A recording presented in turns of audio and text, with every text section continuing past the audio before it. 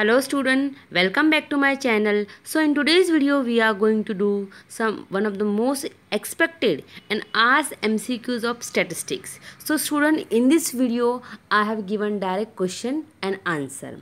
So the question can ask in exam either in a form of um, mcqs or they can ask in a form of match the pair. So let's start today's video so first of all we'll understand what are the measures of dispersion.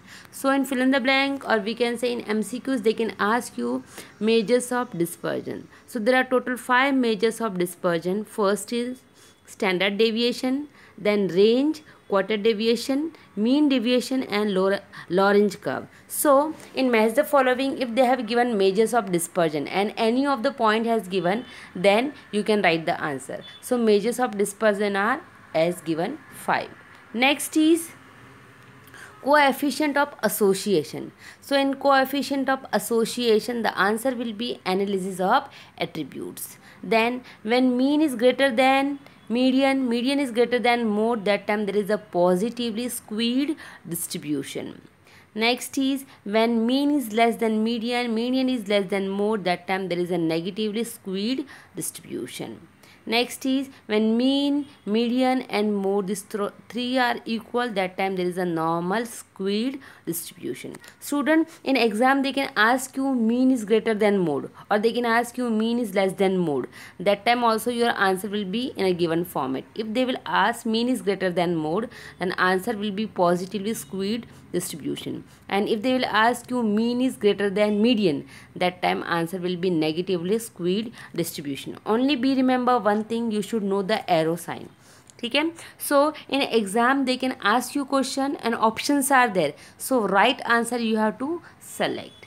Next is if there is a rejecting null hypothesis if it is true that time it will denote by type 1 error and type 1 error also denoted by alpha error. And if suppose they have asked question accepting null hypothesis if it is false that time answer will be type 2 error and type 2 error denoted by beta error. Next thing next is if probability of rejecting null hypothesis when it is false that time answer will be 1 upon beta upon error. Then time reversal test. If suppose in fill in the blank or we, we can say match the following they have given time reversal test. And in option the answer has given p01 multiply p10 equal 1 that time you can match the correct answer. Next is chi-square or x-square distribution. For chi-square or we can say x-square distribution any of the one option they can ask you. If they will ask you sample distribution then large scale test then testing association of distribution that time your answer will be chi-square distribution.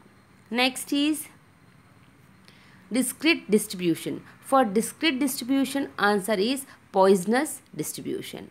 Next is measures of central tendency. So answer is mode then measuring sampling variability due to random force answer will be standard error. Then T distribution test given by William Gosset in 1908. Then Tippett table used for random sampling. Then binomial distribution is asymmetric, sorry, symmetric if P equal to Q. Then Z test given by Fisher. Then F test also given by Fisher. Then chi-square test or x-square test given by Karl Pearson. Then Laspeyres index based on base year price. In exam they can ask you some year and they can ask you that base year form or base year index is based on which index. So you can write Laspeyres. So Laspeyres index is based on base year. Next is Paasche index. It is a based on current year price. Next is Fisher index. It is a based on both base and current year price. Then the test which satisfy both time reversal and factor reversal test that is Fisher test.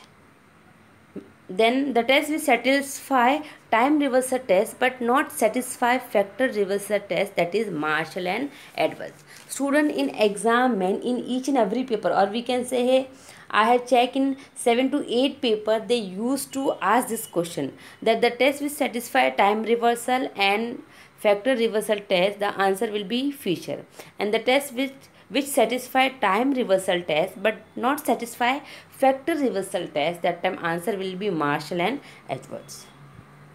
Next is linear programming. This concept first time given by Dantzig. Next is contingency table that is chi-square or we can say x-square test.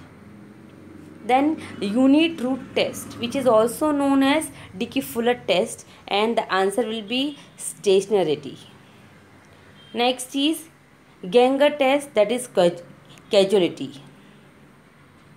Then Box Jenkins test that is forecasting then Durbin-Watson d statistic so in options sometimes they can give you auto correlation or sometimes they can give you serial correlation. Both the answer will be same. So if question will come Durbin-Watson d statistic answer will be auto correlation or serial correlation.